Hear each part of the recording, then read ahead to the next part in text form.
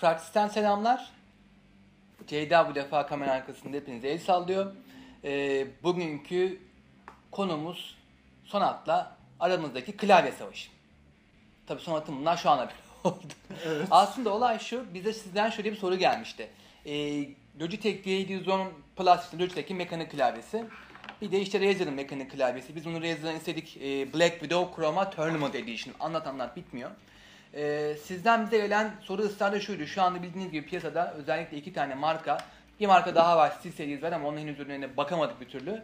Kapışıyor ama özellikle klavye tarafında bu ikisi hakkında çok soru geldi bize. Yani e, mekanik klavye alacağım. Razer mı alayım yoksa Logitech mi alayım abi hangisi iyi? İki klavye de bize geldi. Biz de kullandık. Ee, Sonat daha çok Razer'ı sevdi ve onu daha çok kullandı ama tabii ki aynı zamanda işinde Logitech de kullanıyordu. Ben ben ise bol bol Logitech Ama kullandım. küçük bir detay var onu da. Şimdi anlatacağız. Arada da Razer'ı tabii ki size bu videoyu anlatabilmek için kullandım. Şimdi e, bu iki klavyenin biz karşılaştırılamayabilir olduğuna karar verdik aslında. E, sebeplerini de burada size anlatacağız. Şimdi elimizde dediğim gibi iki klavye var. E, bir tanesi böyle bilek destekli işte uzunca bir kablosu olan, plastik kablosu olan Kalın. kalın bir kablosu olan e, Logitech G710. Şimdi öbürü de daha küçük. E, daha çok böyle hani Göstereyim. evet süper oldu o yaptın. Böyle daha çok turnuvalara falan götürebileceğiniz. Çok güzel bir birazdan göstereceğim taşıma çantası olan e, bir klavye. İkisi de mekanik ama ikisinin de tasarımında bence ikisinin de tasarımında ve e, kullanımında çok ciddi farklar var. Çünkü bunların da tasarım amaçları farklı. Aynen öyle. Şimdi eee, biz dediğimiz gibi ofiste ikisini kullandık ve kendi aramızda bol bol tartıştık. Ben hızlıca bunu anlatayım, sen hızlıca onu ondan sonra karşılaştıralım istersen. Olur.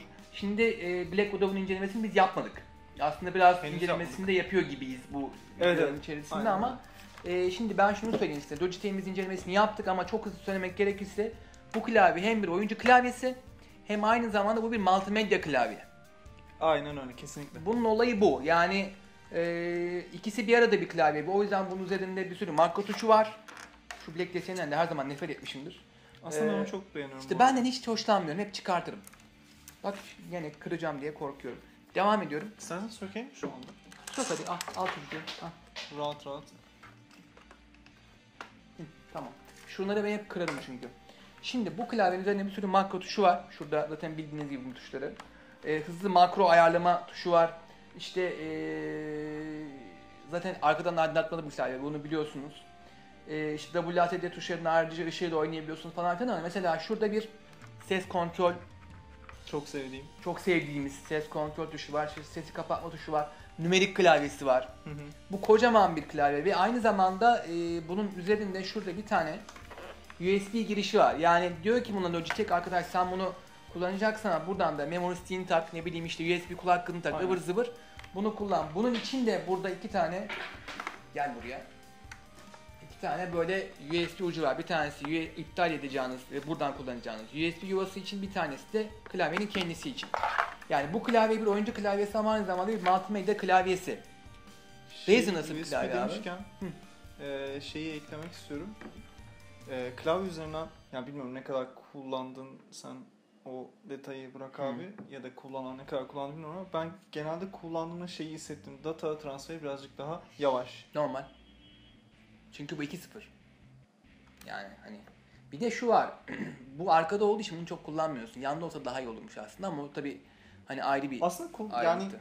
ayrı bir hareket ama çok da zor olmuyor. İşte bak Direkt gene- pıt diye Gene takıyorsun. kullandığım şey. Ben pıtladanak yapamıyorum abi. Her seferinde bunu kaldır. E bunu kaldırınca bu buradan kalkıyor. Bu buradan kalkınca benim buraya koyduğum ve üzerine bulunan dağınık masamdan dolayı bir sürü kağıt ıvır zıvır hepsi kalkıyor. Aa iyi takıp sonra tekrar falan Bunlar koy. farklı kullanıcı tecrübeleri. Aynen Ben öyle. böyle pıt diye takıyorum, pıt diye çıkarıyorum ama dediğim gibi benim en e, şeyim, o konudaki sıkıntım 2-0 olmasından kaynaklı olan yavaşlık. Yapacak bir şey yok ona. Yapacak bir 3-0 şey yok. alışınca lüksüne. E, peki, gelelim Razer'a o zaman. Evet. Black Widow Tournament Edition. Black Widow Tournament Edition zaten adında anda anlaşıldığı gibi yani Tournament Edition olmasından dolayı daha bu arada evet çok güzel de bir Bu çok güzel bir şey. e, taşıma çantası var. İçerisine rahatça sığdırabildiğiniz Bak kablo falan koyacak bir şeyler düştü içinden. Kablo falan koyacak yeri var.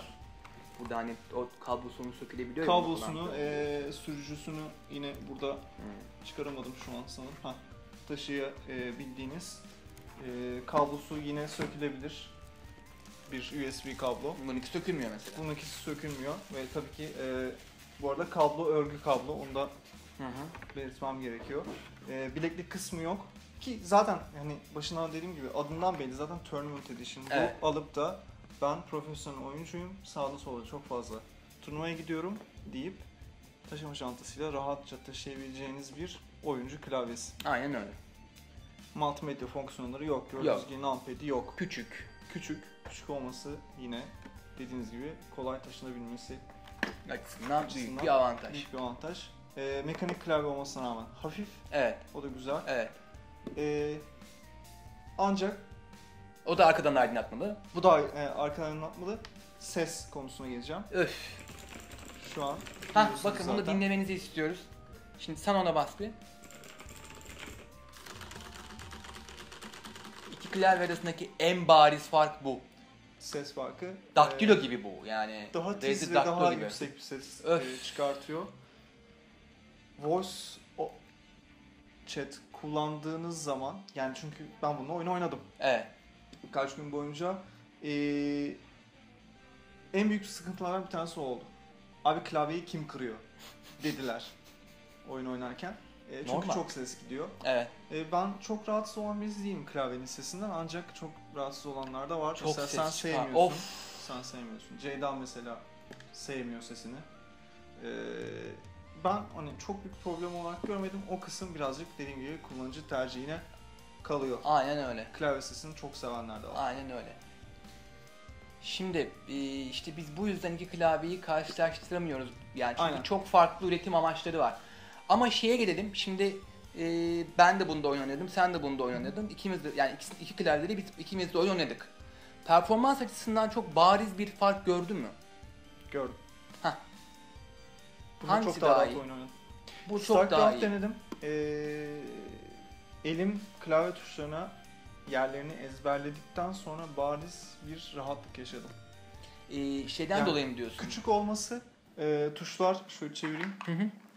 Tuşlar daha yakın birbirine. Ha bak onları Yani 700 şey yapalım. e, yakın çekimde de zaten görüyorlar. 710'dakine göre burada e, Razer'da tuşlar birbirine daha yakın. Hmm, daha sıkıştırılmış bir klavye. Daha sıkıştırılmış bir klavye tuşa diğer tuşa parmağını uzatmanız çok daha kolay. Hızlı oluyor. Tabii Hmm. daha hızlı e, hareket etmenize sebep, sebebiyet veriyor. Bir FPS için belki bunu söyleyemeyiz ama bir strateji oyununda veya dövüş oyunu diyebiliriz. Aslında bir şey söyleyeyim mi? PPS için de söyleyebilirsin bunu çok net ya. Söylersin yani. Salise fark ediyor. Ya Ediyor. ediyor. Gerçi o konuya girersek çok farklı. Tamam başka bir yere gidecek video. E, Okey yani tuş dediğim gibi, aralıklarının sık olması tuş bir aralarının avantaj. sık olması bir e, avantaj sağlıyor Hmm. bence. Peki e, benim sana sorum şu. E, şimdi asıl tabii şimdi ikisinde şeyi şu ya. İkisi de diyor ki benim mekanik tuş yapım daha iyi. Hı hı. Hani bu bana daha yumuşak o daha sert geliyor mesela. Oyun oynarken o tuş yapısında bu daha iyi diyebileceğim bir şey yaşadın mı? Ee, açıkçası bunda yani ikisiyle de çok rahat oyun. Sonuçta o da uzun süredir kullandığım Ben de aynı şeyi klavye. düşünüyorum. Evet. İkisiyle de çok rahat oyun oynayabildim, oynayabildiğimi söyleyebilirim. Evet. Tamam profesyonel bir oyuncu değilim. Evet. Belki çok büyük, e, çok küçük minimal e, farkları burada anlatamayacağım size ama e, bu klavyede biraz daha rahat oynadığımı söyleyebilirim Hmm, hmm. oyun konusunda. Tamam. Ama uzun uzun makal, makale yazarken vesaire falan mesela şeyde Tabii, tabii. çok daha rahat çok ettiğimi daha kolay. söyleyebilirim. Aynen öyle. Aynen öyle. O zaman e, O yüzden biz başta şey demiştik. Hemfikir olduğumuz ikisini karşılaştırmak aslında e, çok da adaletli değil. adaletli değil. Yani. İkisi çok farklı e, Aynen öyle. oyuncuları. Aynen öyle.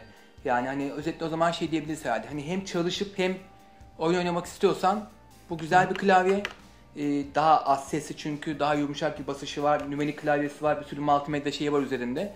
Ama sadece oyun oynayacağım arkadaşım. Ben e, çatır çatır oyun oynamak istiyorum. Başka bir şey yapmak istemiyorum. Her yerde taşımak istiyorum Evet, oyun oynayacağım ve Klavyemi- bunu da yanımda taşımak istiyorum diyorsanız diyorsan o zaman kesinlikle o zaman Razer'dan yana tercihinizi kullanacaksınız demektir. Sonuçta ikisi de yazılım olarak birbirinden iyi kapışan firmalar bunlar. Yani başa baş ikisinin yazılımı, ikisinin yazılımı da gayet kaliteli.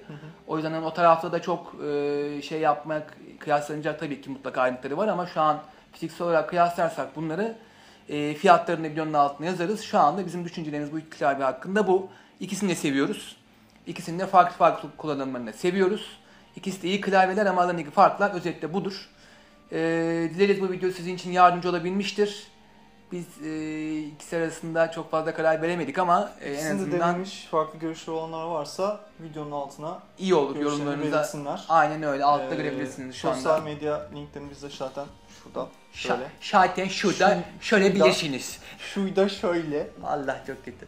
Ee, bizden bugünlük bu kadar. Aynen öyle. Bu seferlik diyelim daha doğrusu. Aynen öyle. Bir sonraki videomuzda görüşmek üzere. Hoşçakalın.